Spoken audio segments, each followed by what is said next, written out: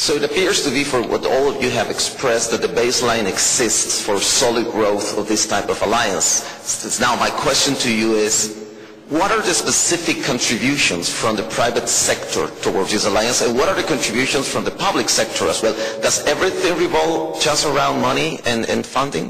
Before, they said the leading cause of death of youth was lead poisoning, bullets.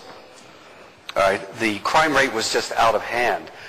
If you stop and you look at Washington, D.C., on average, the 300 to 400 homicides a year, and you ask the question, how does that happen? And you look at Boston, I think it was the year 2000, it was like 1% of that. And the question was, what is the difference between Washington and Boston? How do they control it?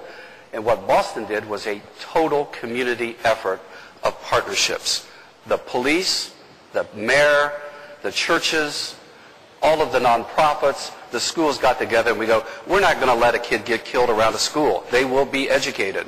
And I remember three years ago, there was one homicide around the school. The city went crazy. Who let their guard down? Highly organized, social capital at its best. Okay? Because they cared. And they got organized to do something.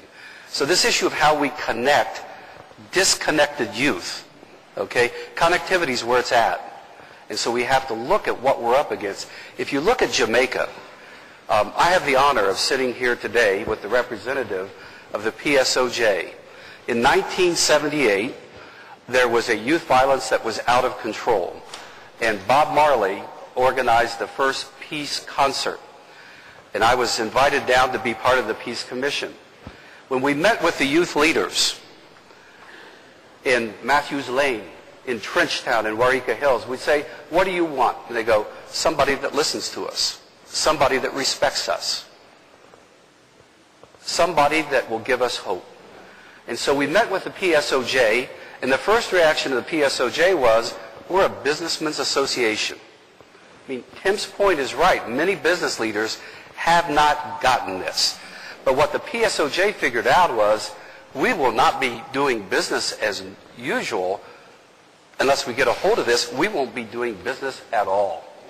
And so the PSOJ rolled up their sleeves, and we brought the money in, the grant money to fund inner city Rasta youth groups. Call them groups or gangs. And what they wanted from the PSOJ was technical training, mentoring, and guidance to create their own employment.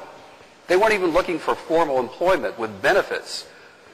Just show us how to create a job and keep it going.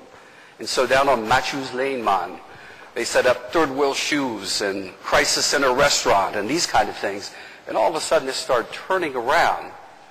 But it started slipping back because the educational system in Jamaica started dropping off.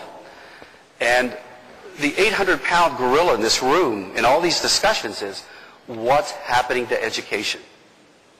And if you look at Jamaica, all those basic data points, the quality of that education, 101% solutions that you've got to bring together and create hope and create, as Tim mentioned, these paths out of poverty. Now, if you... If a, So, just wanted to say, it. go ahead. the same conversation took place seven years ago in Rio de Janeiro with the Inter-American Development Bank, and they were looking at what are we going to do to get kids back in school. We've got to get them back in school to educate them. And Pele, who was in that conversation, said, why would a youth go back into a dirty, poorly organized school with a bunch of teachers who don't care? You will not get those kids back in school. You must meet them with their passion. You must find that good, constructive passion and work with them. What is that? Football.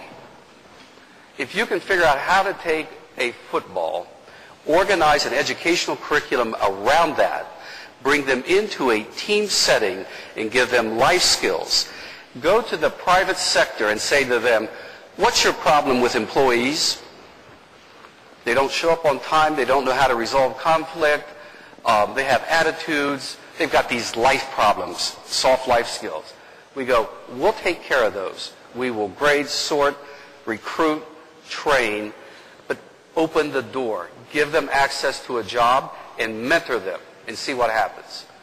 And I would like perhaps from That's A Ganar. Okay, thank you very much, That's Steve. A Ganar. And we're in 11 countries now, and the traction through partnerships. We're in Ciudad Juarez. We're working with the business leaders. We're working with the community foundations. We're working with anyone and everyone who wants to work with us.